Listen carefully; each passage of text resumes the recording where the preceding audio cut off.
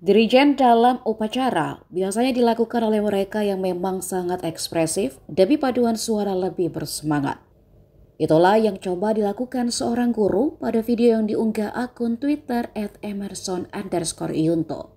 Tampak sang ibu guru yang mengenakan hijab itu memimpin kelompok paduan suara di depannya menyanyikan sejumlah lagu nasional. Tidak dijelaskan di mana lokasi sekolah tersebut. Namun karena gaya ekspresif yang disajikan sang ibu guru justru dinilai makin membuat kelompok paduan suara tambah bersemangat.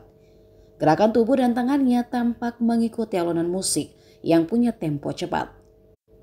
Dan ketika masuk ke lagu syukur, gerakan tangan sang ibu guru pun menyamakan. Video tersebut diapresiasi oleh warganet. Mereka menuliskan jika sang ibu guru terlihat keren dan ekspresif.